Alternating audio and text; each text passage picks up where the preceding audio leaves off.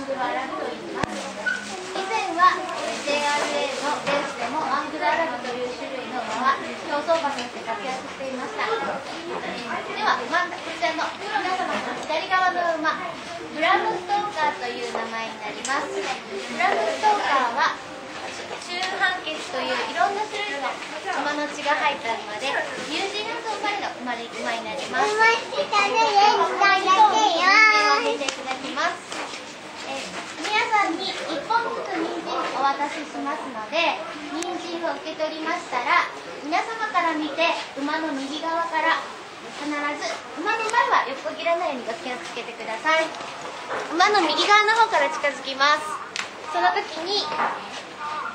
グーで指を出さないようにグーで持ってくださいね。で人参の端っこを持ちましたら馬の口に少しずつ近づけてください。